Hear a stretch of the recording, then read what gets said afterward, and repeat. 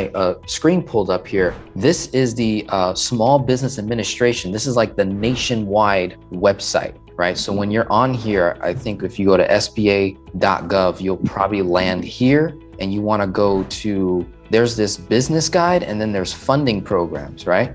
But under under business guide, uh, go ahead and mute yourself, please. Um, whoever that was, please mute. Um, you go to, let's see, forgot where I was. I know, like even at the basic levels of just launching your business, applying for all these licenses. But there's a tab somewhere on, oh yeah, on this side here where it says grow your business, where it talks about um, See this women owned business, Native American owned business, veteran owned business, LGBT owned business, rural minority owned business. So I say, all right, um, I'm a minority. Boom. I come here and there's so much services that the US government has readily and available that a lot of us are not tuning into and we're getting sold and we're we're hiring high ticket coaches for tens of thousands of dollars on a hope and prayer that I'll have the wherewithal to do it. And I got to tell you there is free valuable resources right here that you can at least in the beginning I got nothing against the gurus I love them I'm a guru myself that's what they you know that that's eventually what happens so I got nothing against gurus, high ticket coaches. I myself provide high ticket servicing. Got nothing against it. The issue is if you got no money and then you throw it on a PayPal account in 0% six months and then expect results within two, you're setting an unrealistic expectation where you could have gone to the source. and the source in this case is the US government providing these opportunities. So there's counseling and training funding programs you just start clicking on these links and see where it sends you. Now, I'm going to share with you some of the things that I've done myself, right? Where I'm engaging in this process myself and what it looks like. And there is some preliminary cost involved in this.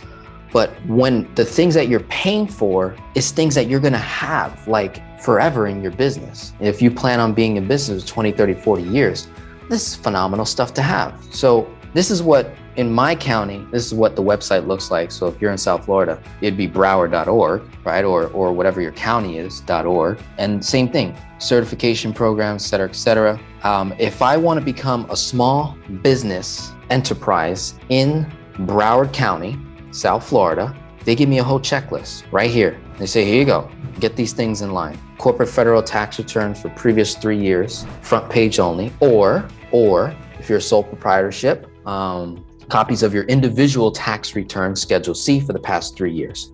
Anybody can produce that, right? Copy of all Broward County and municipal business tax receipts, previously called occupational licenses. So I'm pretty sure Alex has certain licenses that he had to obtain to, to do business. And he was saying earlier how there's businesses that don't. So if you don't require a specific license, you don't have to worry about that. Now, there is a specific, uh, what's called a business tax receipt, right? And that's right here. Um, and I'll show you guys what that exactly looks like. I'll pull up my Adobe right here. So this is a Broward County local business tax receipt, right? Here you see the, the Finance Geek. That's my DBA. That's my fictitious name, right? Here's the business name, builder to contributor, right? Owner, boom, address, blah, blah, blah, right? All this stuff. And you can see the, the fee to get the Broward County tax receipt. This is what a legitimate Broward County tax receipt looks like. So in your state, it'll have a, a, similar version of that, right? So you'll have to get that. Then it says copies of all state and or county competency, com, com, oh, can't even say the word, professional licenses, right? Boom, up to date, detailed resumes of all owners. Now this, I haven't wrote a resume in six years because I've been in business for four and the last job I had, I had it for two and a half years. So I got my girlfriend helping me with that because I was like, babe, uh, how do you write a resume? I forgot. So what happens when you become an entrepreneur. You don't gotta, you don't gotta uh, provide a resume, but you do for the government. That's the biggest, biggest customer. Then it says copy of your current lease for business location. If business is not home based, so my business technically is home based. I'm recording in my uh, uh, apartment, but my business location is a separate address. So I give them that. And then it says copies of three contracts, sales, invoices, or service agreements. Now that's super easy to uh, for me to get and people like Shanora, who we, we're constantly, you know, writing invoices for clients that we take on. So this is like a simple checklist, and there's a department in your county that you can call and they'll specifically walk you through the whole entire process, right? And that's something that I'm working on myself. In addition, um, as you're gathering all these documents, it is a tedious task, okay?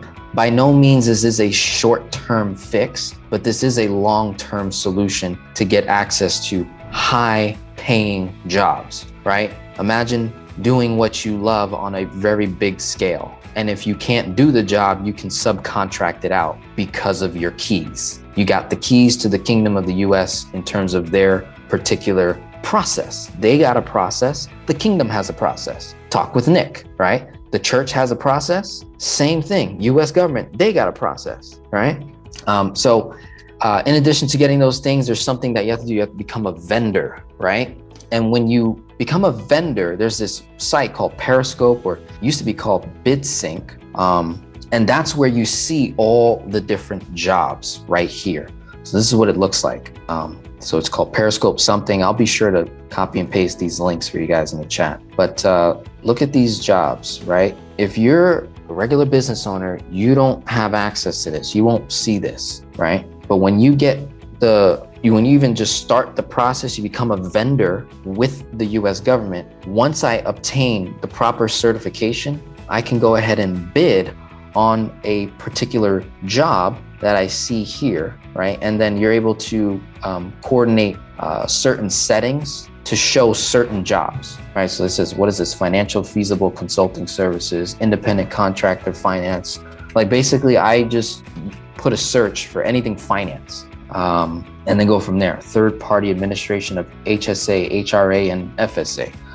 That has to do with those health insurance savings accounts. Financial consulting services, County of Orange, California. So I'm like, huh, financial consulting services. Don't I do that for a living? You know, imagine not having to go and find and market yourself to go get leads, to go make sales, to make an irresistible offer and yada yada, where you can just have access and get the job, right? And then you bid on it and you get paid at a very, very, very high level. In addition to doing this, right, here's the beautiful part. When you set your business up accordingly with the correct uh, processes that the US government has in place, when, when people look you up on the internet, you pop up page one, right? So if you were to type in builder to contributor LLC on your Google search, you will most likely see me.